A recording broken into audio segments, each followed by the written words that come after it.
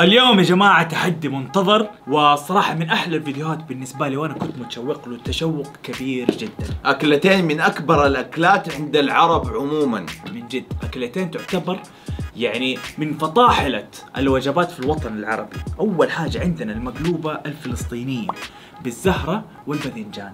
إيش عندك أمير؟ وثاني حاجة عندنا الدولمة العراقية البغدادية. الآن عندنا مقلوبة من يد السيدة الفاضلة أم أحمد. عملتها بكل عناية وحذافير على الطريقة الفلسطينية الأصيلة والدولمة العراقية أيوه. من ايادي أم أحمد. الله يعطيها العافية. مو نفس ام آه، أم احمد أيوة، أم أحمد أيوة، مختلف. أيوة. أنا صراحة جدا متحمس. آه، أشوف الوجبتين العظيمه هذه على طاولة واحدة والحمد لله الأمنية تحققت. ترى مرة صعبة إنها تصير. أيوه أيوه أيوه بالضبط. وبالذات أنت ما أنت في موطنها الأصلي فلازم تبحث عن أم أحمد. وعن ام أحمد اللي هناك وتجمعهم مع بعض. فهذه يعني صارت قصة طويلة لين ما قدرنا نسويها. المهم خلينا نجرب ونشوف بسم الله إيش حيطلع معانا. آه طب أول نفك وبعدين. آه، أول شيء قبل ما نبدأ. ونذكركم يا جماعة قبل ما نبدأ الفيديو لا تنسوا تعطونا أول like okay بسم الله الرحمن الرحيم. let's go يلا.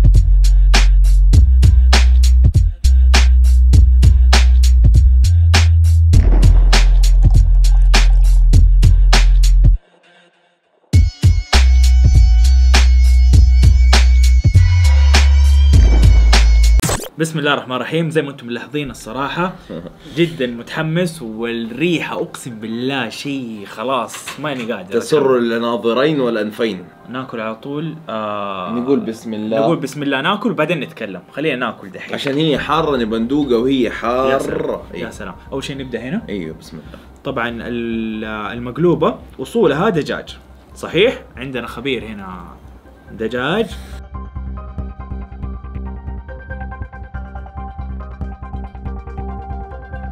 والله دايبة يا bro ذوبان لا لا ما توقعت كذا الصراحة.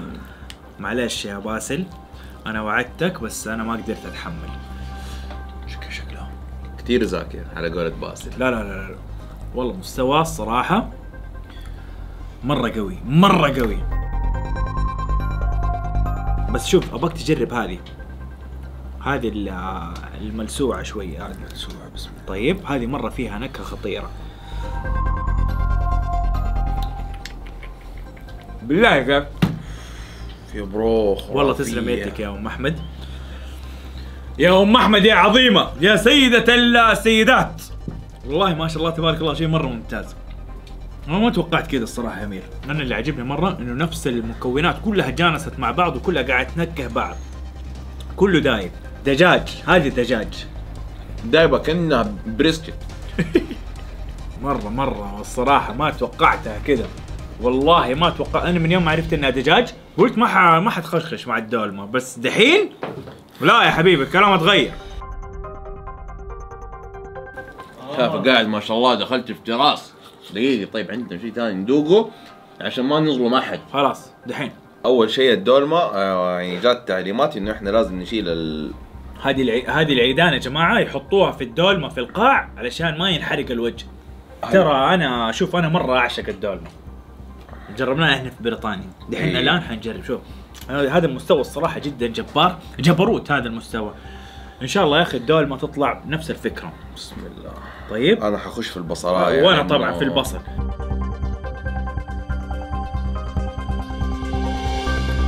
يا ساتر. يا الله.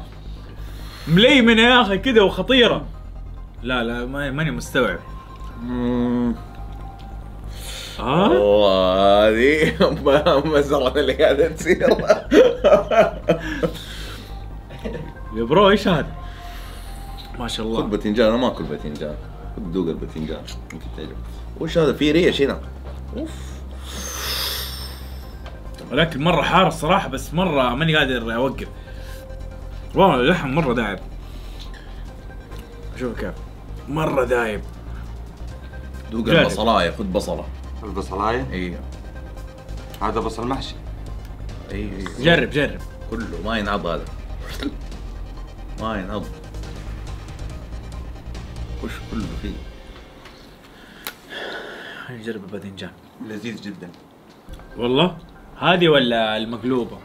حماد أنا ما جربت المقلوبة. لسه بس بصراحة الطعم التتبيلة حقتها ممتازة جدا. أنا والله يا رجل شوف المنظر يا رجل. يعني كان نفسي أجرب الباذنجان بس آه! الباذنجان أنا الصراحة.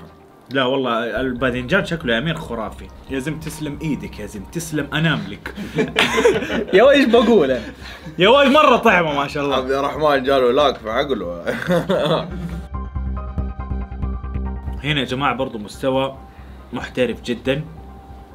النكهات والبهارات وال والريش والدهون اللي نزلت من الريش والمرقة هذه اللي تحت خلاصة البهارات وخلاصة الخضروات كلها. شيء خطير الصراحة ما ما يستهان فيه. أمير والله هاي ترى مرة مستوى منافس من الدولمة اللي أكلناها في ال- صح ولا لا؟ مرة مستوى منافس. دقيقة فين الورق عنب اللي في المقل... اللي في الدولمة؟ طب دور شوف دور عليه. دي هذا هو؟ أيوه أيوه أوف. هذا هو. ورق عنب. إيش؟ إحنا يعني في صراع آه، داخلي وفي صراع على أرض الواقع قاعد يصير. يعني مو واحدة يعني الطبقين يعني في المقلوبة مرة طعمة ومستواها مرة عالي. يعني ما أدري كيف توفقنا أنا وعبد الرحمن وقدرنا نجيب مقلوبة بالمستوى ده وقدرنا نجيب آه، آه، دولمة بالمستوى ده. بس شوف يا أخي مع إنها دجاج والله يا أمير دجاج والعظم ذايب. إيوه يا أخي. غريب. بس المستوى مرة جامد. مرة جامد. يعني تحطه جنب اللحم عادي. ينافس.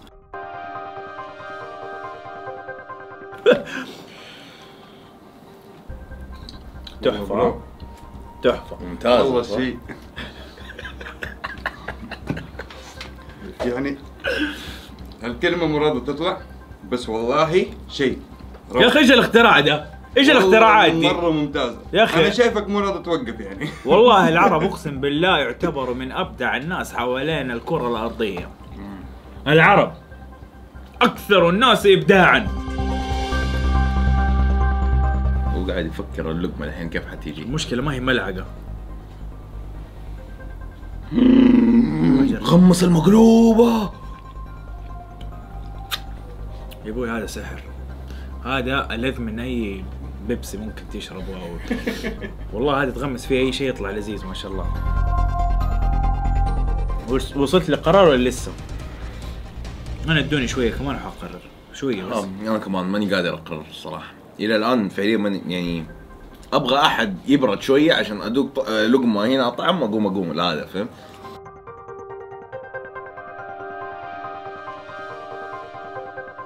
انمار قال لي أشيل صحن لأبوه. ارجع كذا خليني أحط عم هشام شوية. دولمة والله حط له ترى أقسم بالله أنا عارف إنه حنقوم حنخلصه يا أخي أقسم بالله هذا الصحن من أعظم الصحون اللي أنا شفتها في حياتي كلها. من قوة إنه عظيم أقسم بالله أول مرة اسويها في تصوير. أحط كذا برطمان أقول هذا والله أول مرة اسويها أول مرة بخمس سنين. أنا والله جد صحيح آه يا أنت دقت البصلاية ولا لا؟ يا يا دوق أم البصل ده ترى ما يحتاج له بلع. البصلاية إلى الآن. والله ما يحتاج له بلع. لا لا لا لا. خليه يبرد إن شاء الله تلحق. يا أبوي البصلة أول ما تعضها تنفجر كذا مجموعة نكهات جوة فمك. الدولمة حقت لندن. البصل حقها كان ألذ بكل صراحة. البصلة نفسها. غير البصلة بس. أيوه صح. هنا كل شيء تاني كل شيء تاني غير البصل ألذ من حق لندن. آه والله؟ أنا كل شيء- كل شيء يعني قاعد كل شيء. في البصل من أول. لحم. ورق عنب أيوه ورق عنب باذنجان يا أبوي خلينا نخش في الكوسة يلا. خش في الكوسة. الكوسة يا ولد مرة طعمة. أنا الدولمه إلى الآن بتلسع منها ترى. لا زالت مرة حارة صح؟ المقلوبة بدات تبرد إيه. الدولمه لا زال بتلسع منها يعني. هي الدولمة كذا هذه من خواصها. لا يا ياد ما حتيجي تاكل دول ما حتشيل لي ورق عنبايه يعني. خش في البصلة دي ولا خش في الكوسة دي. ورعيل العزيز نسيناه أوه معليش. بالله من وراك الله يسعدك. آم آم منافسة شرسة فخلينا شوية لي. آه، أحب أعرفكم على حجم 600 ملي مناسب جدا للنادي. هذا دائما يكون معي في النادي الصراحة. آه وشكل العبوة أنيق ممتاز وجودة عالية. طبعا مياه كويا مصدرها مكة المكرمة. صحن العظيم هذا يا جماعة؟ دولمة. فيه له جبروت. فاقل حاجة لازم تعرفوا شوية معلومات عن هذا الصحن الجميل. الدولمة العراقية البغدادية تختلف من بيت إلى بيت حسب نوع البهارات المستخدمة ومن موسم إلى موسم. يعني هذا الطعم مو نفسه ثابت يختلف من موسم إلى موسم وكمان حسب نوع الحامض المضاف. الحامض اللي هو إيش يا أمير؟ عصير النارنج وعصير الليمون. وفي بعض الأحيان يستعملوا فيها تمر هندي ومع دبس رمان. فتلاقي حموضة مع حلاوة. يا واد أروح وأجي. كذا عارف؟ هذه شوف هذا اللعب في ال- النكهات والعمق في الطعم. شوف الأشياء السرية خلفه. الدولمه اعتياديا تحتوي على لحم في الحشو. في الحشوة تحتوي على لحم. أي. وبعض العوائل تضع قطع من الأضلاع لحم غنم بال بالعظم لإضافة النكهة. وزي ما أنتم شايفين هنا من جد إضافة نفس اللحم. هو بينطبخ بيطل بيطلع من دهون. هذه كلها قاعدة تساعد. على ال أيوه. كلها قاعد تساعد في تنكيه الصحن الجميل ده. وفي الأسفل أيوه هذا اللي في الأسفل. هذا هو هذا هذا. هذا أمير. أيوه أيوه في الأسفل في أسفل قاع القدر حق الدولمة يوضع عيدان أوراق السلق أو بطاطس أو عيدان ورق العنب حتى تمنع من احتراق الطبقة الأولى. آه وفي شمال العراق يستخ... يستخدم منقوع السماق الحب لإضافة الحموضة إلى الدولمة بدل الليمون والتمر الهندي. يا ولد هذه كذا. يا واد صماخ يا واد قلبت مسخن يا واد مس تخيل ميكس مع مسخن. يلنجي دولمة عبارة عن محشي الخضار المشكل بدون لحم مفروم في الحشو هذا كله كلام السيدة أم أحمد. أنا حاسس إني خرجت من حرب. وارفع لك القبعة. تسلم يدك وتسلم يدك يا أم أحمد على الصحن العظيم هذا. يعني الله يسعدكم يا رب ويخلي أمهاتنا جميعا. والله التقييم الصراحة يا جماعة أنا قعدت احاور نفسي أكثر من مرة بس لقيت نفسي ميال أكثر للدولمة الدولمة فيها بعد في النكهات وجوسي أكثر زي ما أنتم شايفين كيف ال- بس عشان تكون. في الصورة لو خرجتوا حاجة مثلا من تحت هذه لا زالت ترى قطعة حارة ما أيوه مرة حار. يعني فيها سخونة أنا اللي مرة عجبني هناك إنه النكهات كلها جانست مع بعض. هنا نفس الموضوع. ترى هذه فيها فيها جوز كده تحسها يعني مرطبة. نف- ما هو ناشف. صح. وكل النكهات برضو جانست مع بعض. بس هناك جانست مع بعض وحطوا عليها ليمون ودبس وخروف. يعني الخروف الصراحة ادى حت كده دفها قدام أكثر رفع صح. المستوى أكثر أوافق. عشان كذا ماني قادر أوقف هنا. أنا شايف هذا الصحن صحن أسطوري عظيم جدا. ما يستهان فيه. تبغى تنافس أحد نزل له ده الصحن حيسكت هذا لو ينزل توب شيف يا واد أقسم بالله يعطلهم. والله يعطلهم. طيب أنا بالنسبة لي الأكلات التوب اللي أكلتها في حياتي اللي هي تعتبر فيها ألف اللي هي زي إيش؟ زي المسخن الفلسطيني اللي أكلناه. آه زي ال- آه، الدولمه اللي أكلناها في لندن زي المنسف اللي باسل سواه لنا هو في البيت. هذه كلها فيها ألف. اليوم الاثنين دول على طول في الفئه ألف حيدخلوا. المقلوبه اللي أكلناها اليوم في الاستوديو والدولمه أم أحمد أم أحمد الله يعطيكم العافية. الاثنين يدخلوا في الفئه ألف وأنا بضحك. ولكن كتفضيل؟ وكممكن قديش أقدر أدف أكثر قديش أقدر آكل أكثر فأنا حوافق عبد الرحمن في الرأي في الدولمة. آه تمسك حرارتها النكهات النكهات تكون ماسكة فيها يعني إلى إلى الآن آخر بصلة أكلتها زي أول بصلة أكلتها تفج- تفجر النكهات كان جوة فمي نفس الشيء ما في شيء يتغير. ف واو شكرا. شكرا. والله من جد. يا جماعة والله بس بقول لكم شيء أنا الصراحة جدا فخور من نفسي إني قعدت على طاولة وفيها الصحنين هذه الجميلة. فالحمد لله والشكر لله توفقنا. ومن جد أنا مرة مبسوط. شكرا لأم أحمد وأم وأم أحمد. الأكل ما شاء الله كان مرة ممتاز. الله يعطيكم العافية ويسعدكم يا رب. أنا جدا مبسوط. وإن شاء الله كمان حنجرب أكلات ثانية مختلفة ونسوي مقارنات بينهم. حلو؟ ممتاز. وكذا يا جماعة يصير وصلنا لنهاية الفيديو. أتمنى يا رب يكون عجبكم. وإذا عجبكم لا تنسوا لايك تشتركوا في القناة وتفعلوا زر التنبيه إذا ما أنتم فاعلينه ونشوفكم يا جماعة في الفيديو القادم. ولكن أدونا رأيكم في التعليقات تحت في الأسفل في الأسفل تحت الفيديو. إيش رأيكم؟ مين يفوز؟ نبغى نسمع رأيكم يا جماعة. أنتم مع الدولمه العراقية. أو مع المقلوب. من ال- لازم تكونوا اكلينها لا مو لازم. ب... ب... أنت أحكم بالمنظر كذا شوف مين ترشح أيوة. مين يفوز. حلو. حلو؟ واللي جربها كمان يقول لنا رايه كمان تحت شوفوا يا جماعة في الفيديو القادم كان معاكم عبد الرحمن وأمير. من قناة Left Seat